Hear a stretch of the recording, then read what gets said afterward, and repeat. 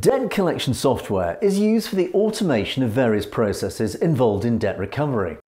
This business process automation streamlines many of the elements of the debt collection process, removing friction to allow more effective and efficient collection efforts to be achieved.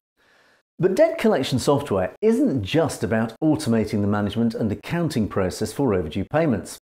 It also applies to customer engagement that uses technologies like conversational AI and conversational messaging to automate customer conversations across the debt cycle, with the purpose of increasing customer engagement and payments, reducing operational costs, and improving customer experience.